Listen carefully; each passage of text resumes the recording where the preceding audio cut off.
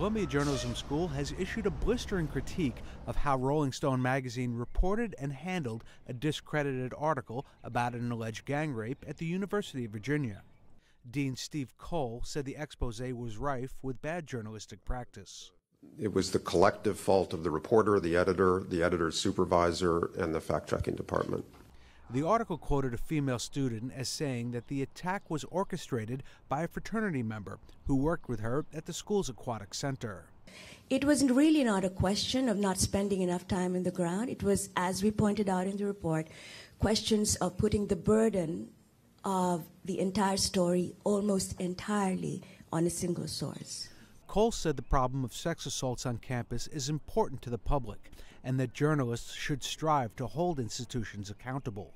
It would be a really unfortunate outcome if journalists backed away from doing this kind of reporting as a result of this highly visible failure.